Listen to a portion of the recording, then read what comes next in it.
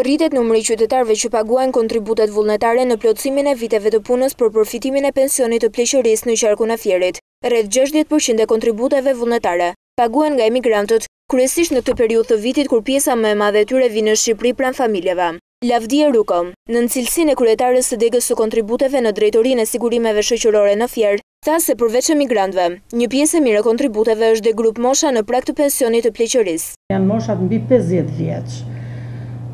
Këto mosha vijnë duke marrë parasysh dhe vitet e punës që ata kanë pasur para viteve nëntëdhjetë e një, interesohen, marrin informacionin dhe pjesa më e madhe janë të interesuar për t'i bërë pagesat dhe, janë afruar për të bërë këto plotësimin e viteve. Në pagesën e kontributeve vullnetare mbulohen katër fusha të kësaj skeme, duke përfshirë sigurimin vullnetar për vitin koherent, për periudha të kaluara dhe për më shumë të ardhura.